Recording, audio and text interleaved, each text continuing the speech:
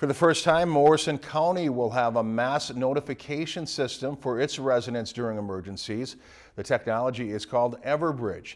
It will be used to provide alerts for residents and to communicate to emergency personnel.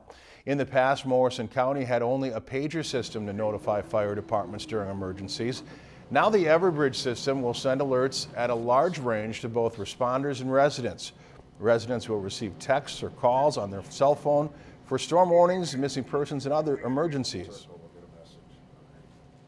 Big thing is internally, we can use it internally for CERT teams, uh, water rescue, uh, all call, recall back in. We've got it set up to use for every fire department in the county, every first response team in the county, and that's our main goal. Morrison County Sheriff Michel Wetzel encourages residents to visit the county page and register their primary phone number for Everbridge, just in case you're not watching the news and you can't see the, the, the broadcast emergency alerts. If you've enjoyed this segment of Lakeland News, please consider making a tax-deductible contribution to Lakeland Public Television.